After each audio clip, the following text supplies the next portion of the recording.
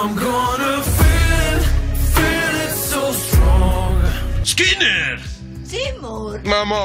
En Los Simpson hay una pobre, pobre alma en desgracia. Señor, dame tu guía. Un hombre que ha pasado por tanto, que lo ha tenido todo, pero al mismo tiempo no ha tenido nada. ¿Quién es tonto y sufridor? Seymour Skinner. El hijo de Mami, ¿Quién llamó a la policía? Los, Los dos. dos. un joven que no tenía otro sueño más que el de enseñar.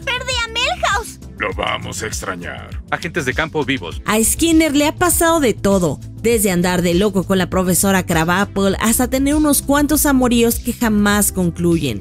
La única relación seria que ha tenido ha sido con su madre. Lo han corrido tantas veces de su puesto como director y casi en su mayoría de veces ha sido causa de Bart Simpson, uno de los alumnos con los que indirectamente tiene un vínculo mucho más fuerte.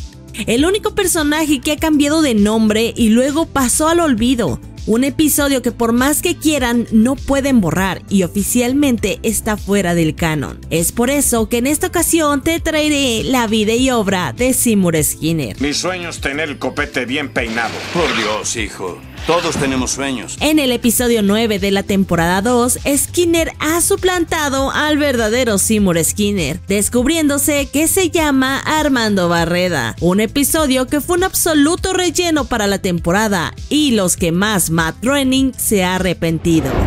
Iniciamos viendo a Skinner supervisando la limpieza de la primaria, mientras el superintendente lo observa ser bastante metódico.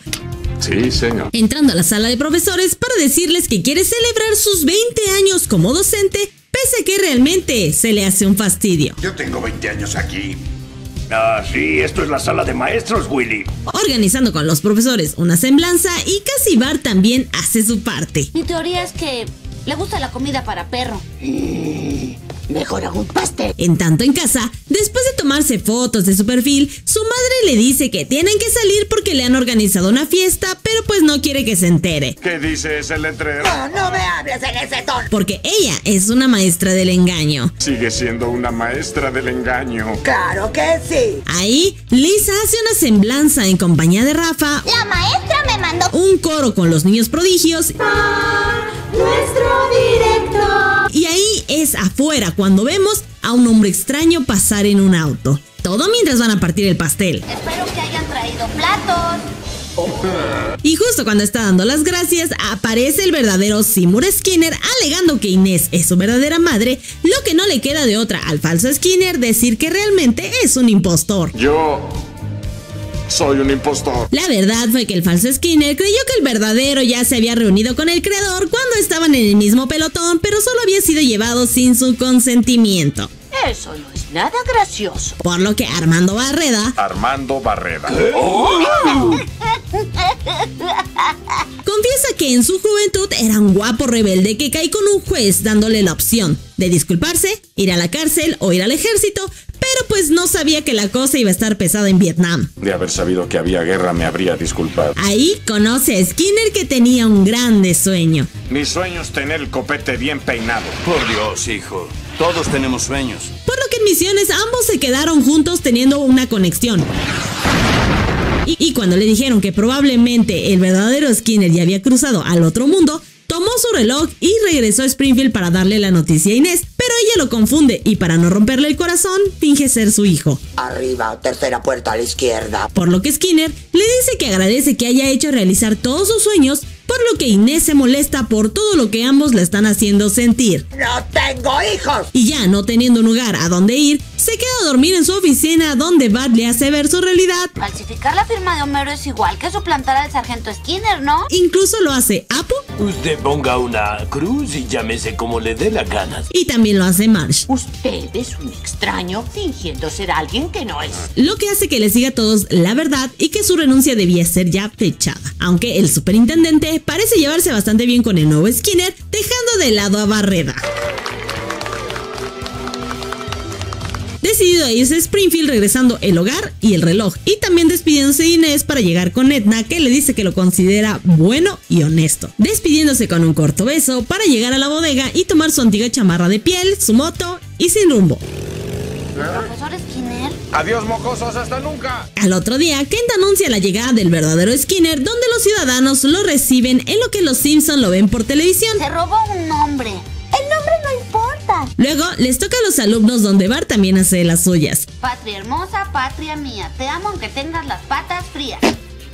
Mientras, en la calle 404, Skinner ya anda buscando trabajo con las cariñosas. Sí, señor.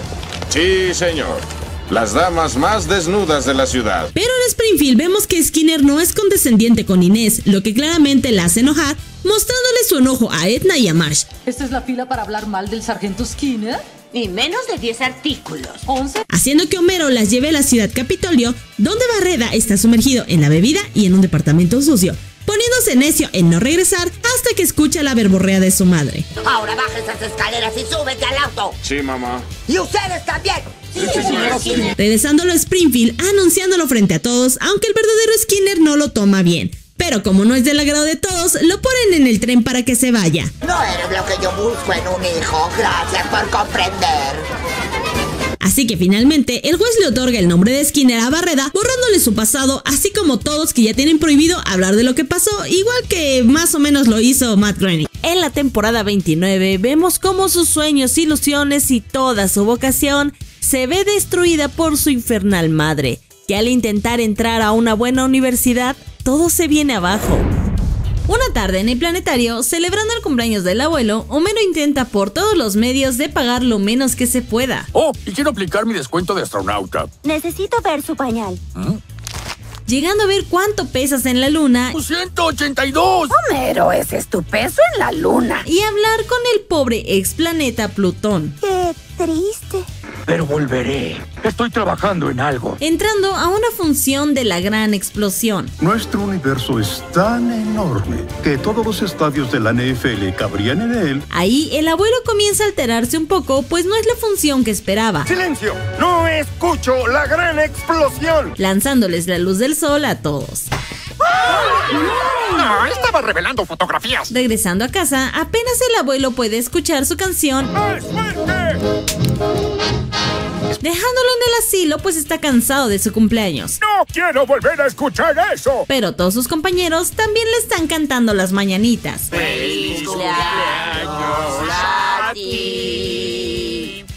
Digan mi nombre, cobardes. Pide un deseo, hago fiestas. recibiendo un aparato auditivo, negándose a usarlo, pues cree que eso lo va a hacer ver aún más viejo. Eres viejo. Has vivido tanto como para ver que tus actitudes prejuiciosas vuelven a estar de moda. Pero todo resulta bien, pues puede escuchar las aves, a Jasper en el viento y prácticamente cualquier sonido cercano a él. Coteo de morfina. En la noche, Liz está muy alterada por lo que escuchó en el planetario de que hay 13.8 mil millones de habitantes y ella se había equivocado en su tarea, pidiéndole a su hermano que entre a la escuela para robar esa tarea mal hecha. Hablando dormido. Te creo, confío en ti. Buenas noches. Siendo escuchados por Marsh, no quedándole de otra, Liz hay que cubrir a su hermano, pues lo acompañará al gran robo. Para entrar y corregir correctamente esa tarea, mientras Bart se distrae con calcomanías y con algunos gises, escuchando un tenebroso ruido en el almacén. ¿Qué es eso? El fantasma de ese niño que tuvo que trepar por una cuerda en el gimnasio hasta que su corazón estalló. viendo que era la sombra de alguien triturando lo que parecían manos. Pero no, la verdad es que era Skinner que vive solo en el sótano a escondidas, pues ya no puede escuchar a su madre y sus terribles No secretos. volver, Les diré qué pasó. No tiene que hacerlo. En serio, está bien, le creemos. Desde que era niño, yo quería ser tamborilero. ¿En una banda de rock? No, marchando. Contando que hace tiempo su más grande sueño fue solo estar en una banda. De hecho, era dedicado, enviaba canciones y coreografías, soñando que de verdad lo iba a conseguir. Y cuando llegó el día que la universidad mandó las cartas de aceptación, Inés le dice que no lo habían aceptado. Te rechazaron. Eh, son muchos papeles. Te dan muchas razones por las que no te aceptan. Entonces, muchos años después, dispuesto a redecorar la habitación de su madre, encontró la carta viendo que siempre sí había sido aceptado. Querido Seymour, espero que aceptes una beca total para venir a la estatal de Ohio. Queremos hacer uso de tus brillantes formaciones de inmediato. Por otra parte, el abuelo anda feliz por el vecindario, llegando a casa para mostrarles que ya puede escuchar mejor, pero solo ve que Homero y Marge no lo esperaban. Al cielo no puedo oírnos. Subiendo el volumen para saber qué más cosas feas están diciendo, ofendiéndose demasiado, disculpándose a Homero por todo lo que hicieron, yendo al centro comercial para reanimarse, pero casi todos se portan bastante mal por no querer explicarle cómo funcionan las cosas. Bueno, todos menos uno. ¡Venga! ¡Venga! Bueno, así está mejor. ¡Ah, ah! Ciudad Ataúd, piense adentro de la caja. Más noche, Lisa tiene pesadillas por haber hecho trampa, no pudiendo ser la próxima presidenta. Igual que Skinner, que sigue recordando que fue aceptado y no pudo ir a Ohio, yendo a la universidad para ver si aún hay la probabilidad de que pueda ingresar. Puede inscribirse ahora. ¿En serio? No, esto es una escuela, no una comedia de los 80. Caminando por el campus todo enojado porque pues eso no va a ser posible. Ha de estar súper mareado. Cambio de dirección cada dos vueltas. Decidiendo que debe confrontarse con su madre. En la escuela, Lisa le confiesa a la profesora que ha hecho trampa, pero pues a ella realmente no le importa. Lo único que quiere es que le regrese su goma de nicotina. Mi hermano la tenía y estaba junto a la mascota de la clase. Afuera, Willy sufre de escuchar la batería de Skinner que se prepara para ir a su casa donde ya está Barney viviendo ahí pues Inés le renta la habitación de Seymour, aplicando el chantaje emocional, pidiéndole perdón por lo que hizo y que no podía vivir cerca de los universitarios. No puedo controlar mi sexualidad. Pero que a pesar de todo, realmente siente no haberle dejado ir y ser la tilde, pidiéndole que regrese a casa para que Barney pueda tener un hermanito. Él no se quedará, ¿o sí? Ustedes resuélvanlo. ¡Lo En tanto, Homero sigue buscando a su padre, encontrando a alguien que pueda reemplazar su lugar, recibiendo la llamada de que Abe es realmente detestable y que ya vayan por él. Llegando muy noche, subiendo el volumen para escuchar a Bart y Lisa que lo extrañan, aunque realmente pues todos están leyendo un libreto de la obra del abuelo, abrazándolo en la puerta como buena familia. Oh, te amamos. Compartimos un momento cálido y difuminado. Finalmente, Skinner ve su serie sin control parental como habían acordado, donde hay mucho, mucho cuerpo. Sí. Esto es estúpido. Finalizando con el musical triste del pobre de Juan Topo. ¿Quién? Nadie conoce a Juan Topo. En el episodio 10 de la temporada 32 vemos una versión mucho más sensual y muy al estilo Hallmark. Ahí veremos a Skinner intentando que todo Springfield tenga un día de la cosecha encontrando el amor en una de las productoras que, para su mala suerte, está comprometida. Tenía que ser una película navideña. Una Navidad de verano en Springfield para Navidad.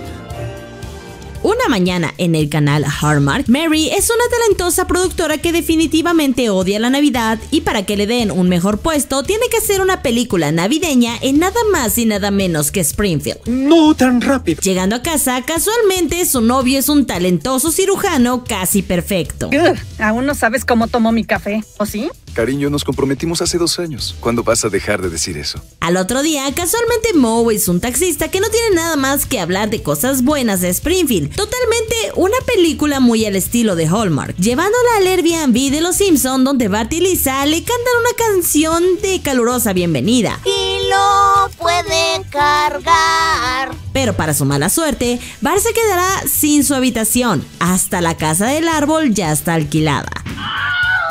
Ay, vaya, qué... Pero para Marge es toda una experiencia, pues es fan del canal y ama todas las películas navideñas. Un soldado para mami en Navidad.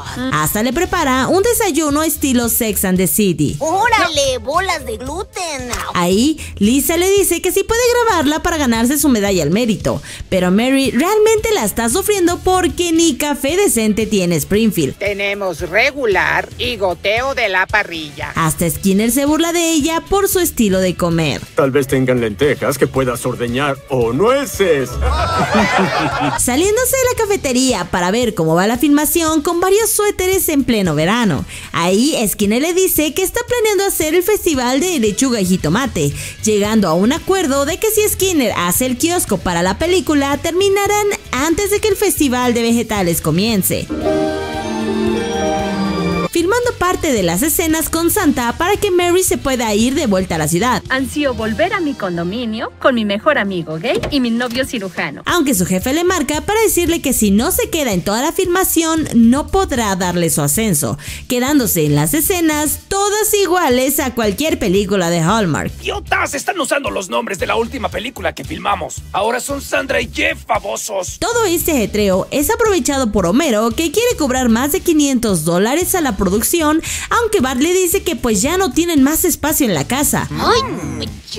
Y como ya no tiene a quién más estafar, Homero tiene la idea de crear nieve de utilería triturando toda la basura que encuentre para su nieve artificial, para que las mejores escenas terminen filmadas. Ahí, Mary le dice a Skinner que deje de hacer el kiosco para la escena romántica, y justo ahí comienzan a tener una conexión, aunque son interrumpidos por el prometido. Hola mi amor, ¿cómo estás en el fin del mundo? Debes sentirte miserable. Lo que él no sabe es la aparentemente sensualidad que ya tiene Skinner.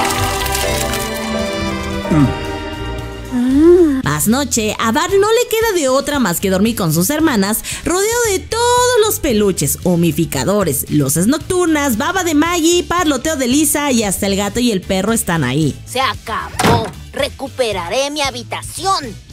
En la mañana, Mary y Marge hablan sobre la escena del encendido del árbol de Navidad que no se puede hacer por los castores agresivos que habitan ahí, por lo que Marge le da la idea de que tomen todas las verduras del festival para acomodarlas como adornos con la ayuda de todos los de Springfield, poniéndose los suéteres clásicos sin justificar ciertas escenas de la película. Pero no todos están contentos, pues Skinner dice que han arruinado su festival de verano. Bueno, todos menos Bart, que sigue sin dormir, soltando la nieve artificial, encerrando a Mary con Skinner que no pueden salir porque Skinner está alérgico a la nieve de utilería que fabricó Homero. ¡Ah! ¿De qué rayos está hecha esta nieve de utilería? No tengo idea. Quedándose encerrados hasta la noche con el calor, dejándolos sudados, y Skinner limpiándose con una lechuga y pues Mary refrescándose con un jitomate.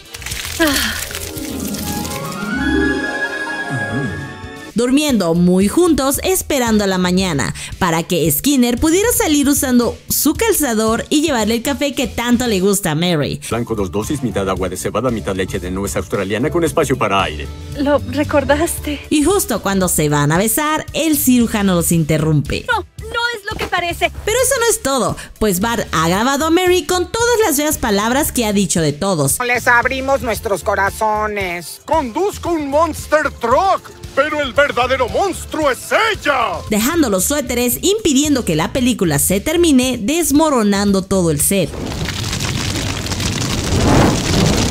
Así que Marge habla con ella confesándole a Mary que odia las películas navideñas porque su padre había muerto pisoteado por los extras de la película. El tráiler de El niño del tambor. Pero que a pesar de todo ama Springfield siendo grabada por Lacey Bart. Así que al otro día Mo la lleva al set de grabación pues todos han visto aquel video. Ahí el cirujano llega para que Mary se decida entre y Skinner y aunque ella escoge Skinner... ¿Estás loca? Elígelo a él. Es mil veces mejor que yo. Es un cirujano. Y pues ya rechazada regresa con su cirujano. Ya sé. Pasando los meses, los Simpson ven la película navideña, pero en definitiva a nadie le gusta, quedándose solo Marge a disfrutarla porque prácticamente es la misma historia con los mismos actores. En la temporada 32, en el episodio 18, Skinner viaja con el superintendente para asistir a una convención y lo único que vemos es que Chalmers no aprecia del todo al pobre director. En la reunión de directores, Chalmers está ahí con todos, no sin antes Skinner contar un mal chiste. La esposa de Doggins le fue infiel. Pero lo importante es la convención de administradores en Cincinnati, donde Chalmers va a dar el discurso de apertura emocionando a Skinner de más. Bueno, eso no pudo ser peor. Así es. Olvidando todo, les dice que llevará al director con calificaciones más altas, escogiendo a Finch. Tengo un amigo que era jugador de los bengalíes. Más tarde, Skinner sigue practicando sus palmadas.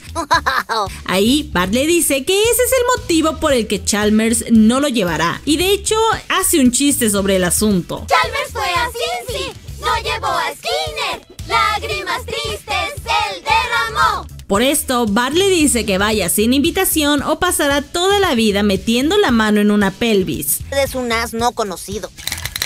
Al otro día, Finch le dice que tiene una infección estomacal y no va a poder ir. ¡Disparo huevos lados! Llegando a Skinners, que ya vio en el perfil de Finch que él no irá y por supuesto va a acompañarlo. Llegando al avión, vemos a Skinner muy tranquilo, menos Chalmers que le tiene pánico a volar. Y lo peor es que Skinner documentó todo su equipaje. Mis píldoras estaban en ese equipaje, idiota tú. Está bien. Además de que los animales de apoyo tampoco son de su agrado, poniéndose bien loco en el avión. Nadie está a salvo, nadie está. Ese.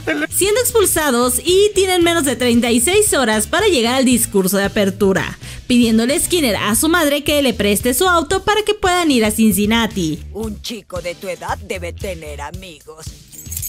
Y la verdad, no se ve que vaya a ser un viaje muy tranquilo que digamos. Espero que le guste esta canción porque está atascada y no hay perilla de volumen. Y Skinner no hace más a menos tampoco el lugar, deteniéndose para levantar a unos mochileros, que son unos improvisadores. No, no, no, no les dé sugerencias. Posavasos. Posar un vaso parecería una gran tarea. Enfureciendo tanto a Chalmers que no se fija que viene un camión y termina estrellándose. Frijoles de soya genéticamente modificados. Esto lo lleva a un juicio, pero lo bueno es que la juez es muy parecida a la madre de Skinner a la que le arregla las uñas para salir con un auto nuevo y sin juicio. Mamá, a mí nunca me prestas el cutlas. Mi auto es para inteligentes. En camino a tan solo 400 millas, Chalmers ya se ve más tranquilo invitando a Skinner a un bar con un montón de ciclistas y el lugar no es lo que esperan. Solo servimos gel de energía y oxígeno. Si no les gusta, salgan. Insultando Chalmers su delgadez, no contando con sus muy fuertes piernas, tirando las computadoras de sus bicis, lo que les ocasiona tener que huir, pero pues todos están montados en sus bicis, huyendo Skinner del asunto. ¡No te vayas! Oye, Skinner. O por lo menos eso parecía. Pero él ha ido a buscar a los paratletas veteranos, volviendo Chalmers a agradecerle, culminando la noche en una cabaña para tomar vino y pues después al otro día desayunar. Ahí Skinner pide el teléfono para comunicarse con su madre, pero Chalmers lo está usando para comunicarse con Finch, que ya se ha recuperado y por lo tanto le recuerda su trato. Skinner es despedido y yo dejo mi pequeña escuela imán. Esto es escuchado por Skinners que obviamente se iba a enfurecer. ¡Chalmers! Sacándolo de la sala para golpearlo y gritarle todas las humillaciones pese a su lealtad. Lo malo es que a Skinner se le escapa que fue él el que enfermó a Finch enfureciendo al superintendente, llevándolos a tener una muy muy buena pelea usando todo lo necesario para causar dolor. Dejando el lugar completamente destruido, renunciando a Skinner, no quedándole de otra Chalmers que pedir un aventón para llegar a Cincinnati. Por otro lado, Skinner ha sido detenido por su exceso de velocidad, dándose cuenta que no lleva el registro del auto, sino el discurso de Chalmers, que está a nada de comenzar, dándole un pequeño ataque de ansiedad porque no tuvo tiempo de practicar, dándose cuenta que no fue el único que pasó por dificultades para llegar. Ahí se da cuenta que Skinner hizo todo para poder llevar el viaje lo mejor que pudo. Esto lo escucha Skinner que corre a abrazarlo, dándole su discurso y pues escucharlo todo emocionado. De regreso, le cuenta a Bart cómo le fue con todo el viaje y las gemelas le han hecho una nueva canción. Lo invito al chili para mostrarle su gran amor. Y ambos se fueron a comer chili. Ah, y Skinner ya aprendió a chocarlas. Finalmente, los Simpson tienen una cena normal como familia porque pues las series de ellos y de hecho no salieron. En el capítulo 20 de la temporada 34, vimos a los Simpson entrar en una pandemia global y Skinner ha recurrido al home office, pero pues no pudo pagar la computadora correctamente, haciendo que todos sus alumnos se den cuenta del infierno que está viviendo con su madre. Ahí comienzan a recibir unas alertas, encendiendo el televisor, pues quien ha dicho que Springfield está dentro de una catástrofe ambiental por un enjambre de orugas, haciendo que Diamante haga un comunicado para que todos guarden la calma y cerrando por completo la ciudad. Springfield está en. Aislamiento, día 1. Así que en el día 1, casi parecido a lo que se vivió para algunas personas, Homero y Bart están felices porque no hay escuela ni trabajo, donde Lisa les dice que no hay nada de gracioso en una cuarentena. ¿Por qué no hacemos algo para distraernos en el aislamiento? Viendo programas en donde debes de adivinar si es pastel o no. Y bueno, una cosa lleva a la otra y peleándose por el control, Homero por accidente cierra su sesión de la plataforma, la cual pues no recuerda la contraseña. Estamos atrapados, todos juntos y sin nada que ver. ¡Todos juntos! Ahí Marge les dice que se calmen, pues la normalidad está más cerca, pero la verdad es que no, todo está muy en silencio, menos Kirk. ¡Las calles son! Bart entra a sus clases en línea donde Skinner entra a una plataforma gratuita donde tiene que dar anuncios de cripto. Y como no tiene a dónde ir, Bart ve que Skinner ha dejado su sesión abierta viendo que está usando pijama, diciéndole a Bart a Milhouse que hagan videollamada viendo como Agnes no trata muy bien a su hijo. En tanto Marge le dice a Maggie que debido al encierro pues ya no hay ningún tipo de aderezo. Y bueno, Homero sigue pensando en su contraseña. Ahí Marge le da un quemador a Homero para que vaya con Flanders a ver si tiene aderezo. Ahí Homero toma una canasta porque Ned está muy bien surtido por si las dudas. Eh, cinco minutos de aislamiento y los santurrones están listos para renunciar. Viendo que en efecto tiene su aderezo tipo ranch, pero Flanders se pone a pensar en todo lo que le puede ir quitando a él y a su familia, negándose a darle los víveres, llegando con Marsh que cuestiona si fue amable o no. Pero ahí vemos que Liz está más preocupada por todo lo que sale en las redes sociales y la preocupación del confinamiento. Y es que no es la única, pues Maggie ya también está enloqueciendo y eso que apenas van en el día 3, donde las orugas casi terminan de tapizar la casa, por lo que le piden a Lisa que ya deje de ver las redes sociales para salvar su salud mental, pensando en tal vez quitarle el internet o darle su regalo adelantado de Navidad. En tanto con Skinner, su primo le sigue quitando la atención de Agnes, mientras Lisa está cada vez más distraída con la nueva adquisición de su Stacy Malibu. Oh, pero claro que sí. ¡Ah! ¿Podríamos En el día 4, Homero engaña a Maggie con aderezo que pues no es aderezo sino más bien mayonesa, estresando a Marge que irá a ir a la casa de Ned para tomar lo que necesiten. Y todo esto sucede mientras Bart está viendo su novela con Skinner, que se empieza a tornar bastante triste pues ya lo están viendo llorar. En lo que Lisa ve su tienda Stacy donde ellas la reducen para estar de su tamaño. Mientras Marge y Homero han logrado entrar para tomar todo el aderezo que necesiten, pero les dura muy poco el gusto, pues Flanders ya lo sabe. Pero aquí lo importante es que Ned ahora sí no se va a dejar de Homero, el cual pide a Marge que huya en lo que él pelea para poder hundirlo con el aderezo. Pues prueba. Con Bart que sigue en su plan para llamar anónimamente al primo y pedirle la frazada, Peter suelta que estaba tratando de estafar a la pobre de Agnes y pues ahí Agnes pide perdón a su hijo expulsando a Peter con las orugas. Con Flanders se da cuenta hasta dónde ha llegado, ofreciéndole una disculpa a Homero, al igual que él, pues todo esto se salió de control. Y bueno, Finalmente, Lisa decidió quemar toda la tienda de Stacy, incluido Kevin, el novio musculoso.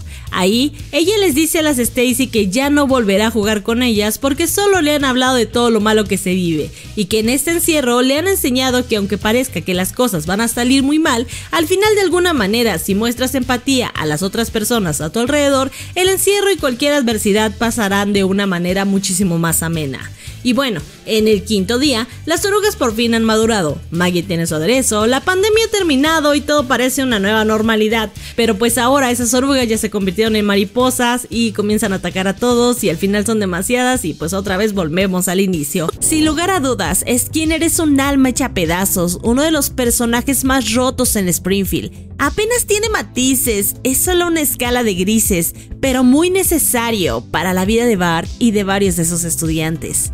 Pero cuéntame, ¿recuerdas algún episodio donde Skinner haya sufrido más? Házmelo saber en la caja de comentarios. ¡Dale like y suscríbete!